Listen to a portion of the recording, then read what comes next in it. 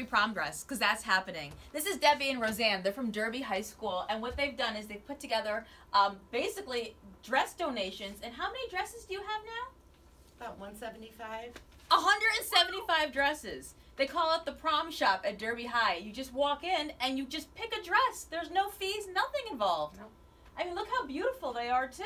We have very Jewelry, stylish. we We have have shoes. We have pocketbooks. We have Flip everything. flops, spa Yep, bags, yep, you name spa- it, we got it. I mean, I remember buying my prom dress when I was in high school and how expensive it was and how time consuming it was. Imagine if you could just walk into the multimedia center and pick one. And that's it. And be like, yeah, that's my size. Let me try it on. Yeah, it looks good. I'll take it. And you just put it in a bag and walk out. Yeah. Well, hands off. The one that's gray is mine. Right. Okay, okay, you got it. We had some teachers, and we said, Oh, you're yeah. more than welcome.